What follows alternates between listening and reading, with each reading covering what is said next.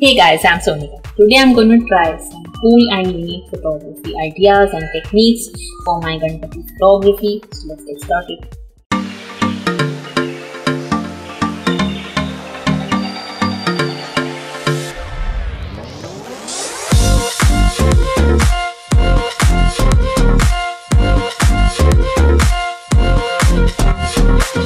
If you like my video guys, give me a big thumbs up and hit the subscribe button.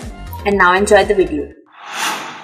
Hey guys, I'm Sonika. Today I'm going to try some cool and creative photography ideas and techniques for Ganpati photography. You may use them for any genre of photography guys. And if you want to download my uh, Ganpati photos for free, you can do that on Unsplash. Link is in the description. And now let the Ganpati photography begin. Intentional motion blur. In this technique, I intentionally move my camera to blur the image. To create a motion effect, I set a long shutter speed, about half second to 1 8 second, and move the camera while the shutter is open. I can move the camera side to side or up and down. I can also spin the camera around. Light painting Mount your camera on a tripod and set your shutter speed to 30 seconds on the bulb mode. While the shutter is open, move a light source through the frame to draw Ganpati Bappa or around an idol of Ganpati Bappa. Alternative filters Photographing through alternative filters will create unique effects in your photos. Your filters can be warped glass, a plastic bottle or flowing water, double exposure. Double exposure is layering two images.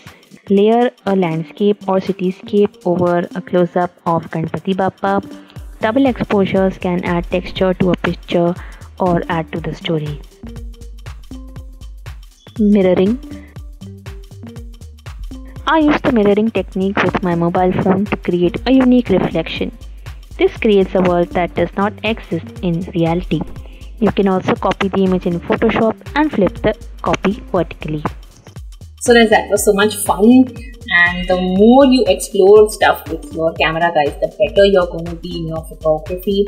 And if my video helped you do that, give me a big thumbs up uh, leave a comment down below about what you want to watch next on my channel. Share this video with your friends and don't forget to hit the subscribe button.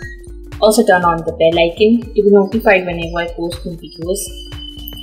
That is my previous Ganpati vlog uh, where I take you around a Parel Ganesh workshop. Please go check it out guys. Thank you so much for watching.